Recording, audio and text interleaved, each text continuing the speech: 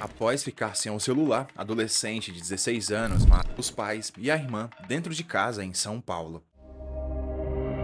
Um adolescente de 16 anos confessou na madrugada desta segunda-feira, dia 20, que foi o responsável pelo assassinato da mãe, pai e irmãos adotivos dentro da própria casa, na zona oeste de São Paulo. De acordo com o um boletim de ocorrência, o crime foi consumado com arma de fogo. Em ligação à polícia militar no último domingo de 19, o jovem confessou ter matado família com arma de fogo do próprio pai, que era guarda civil municipal em Jundiaí, São Paulo. O intuito do adolescente ao contatar a polícia militar era se entregar. No local do crime, o jovem confessou ter assassinado a família após ter sentido raiva dos pais. Em depoimento na delegacia, o adolescente revelou que desentendimentos eram frequentes com os pais adotivos e que o estopim para o crime teria acontecido depois de ter sido castigado ao ficar sem o celular. O teria o chamado de vagabundo tiraram seu celular e, não podendo usar o aparelho para fazer uma apresentação da escola, planejou a diz um trecho do depoimento. Ele disse também não estar arrependido e falou que se pudesse faria tudo novamente. E o jovem ainda sabia onde o pai escondia a arma e atestou momentos antes do o filho adotivo atirou contra o pai quando ele estava na cozinha e de costas. A irmã ouviu os disparos,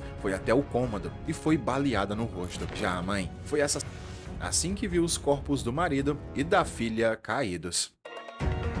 Deixe aqui embaixo o seu comentário sobre o que, é que você acha desse caso.